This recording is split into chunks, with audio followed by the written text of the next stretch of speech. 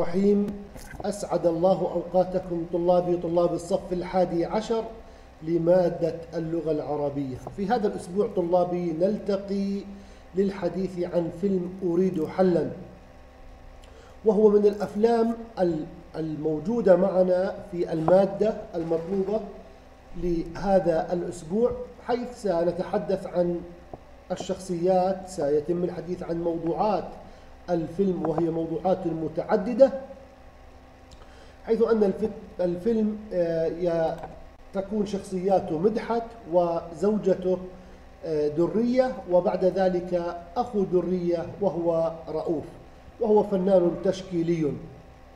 الفيلم يتحدث عن عدة قضايا لعل من أهم هذه القضايا التي يتحدث عنها فيلم الأيدي الناعمة آه، قضية الطلاق أو قضية قانون الأحوال الشخصية المعمول به في مصر آنذاك. أيضا يتحدث الفيلم عن تربية الأبناء. سنذكر بعد قليل كيف نتحدث عن تربية الأبناء. أيضا يتحدث الفيلم عن العلاقة بين الأزواج والتعاملات ما بين الزوجين في خلال الأسرة وأمام الأطفال.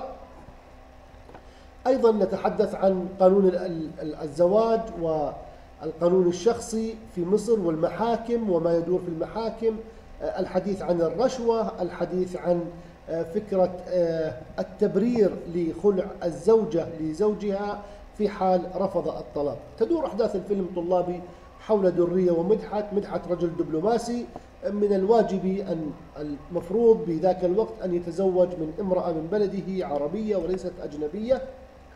وفعلا تزوج من درية وذهب إلى فرنسا وبعد ذلك آه، شاهدت درية عدة تصرفات غير أخلاقية على مدحت مما اضطر أن تبتعد عنه ولكن عادات وتقاليد المجتمع المصري ترفض الطلاق. بعد ذلك أنجبت منه طفلا انتظرت حتى كبر الطفل وذهب إلى الجامعة وبعد ذلك ليبدأ هو حياته. عادت هي لتطلب من زوجها مدحت الطلاق بدون بدء الأسباب وإظهار الأسباب للطلاق. تفاجأ مدحت وكعادة أي رجل يرفض ذلك لأنه هو من تزوج وهو من يطلق وهو المسؤول عن أمور العائلة فرفض كل الرفض مدحت أن يطلق درية اتجهت درية إلى طريق آخر رغم أنها كانت تريد أن يعني تنتهي العلاقة الزوجية بينها وبين مدحت دون الإساءة إلى الابن الذي سافر لبناء مستقبله. وحفاظا على سمعة العائلة ولكن مدحت رفض مما اضطر لدرية أن تذهب وتلجأ إلى المحاكم وإلى الخلع دون إبداء الأسباب أمام المحكمة. وكما تعرفون أن المحكمة إذا لم يكن هناك سببا مقنعا شرعيا للخلع لا تخلع المرأة من زوجها. وبذلك قام شوكت بإحضار الشهود وشهود زور وحلفان يمين ورشوة قدمها من مكانته.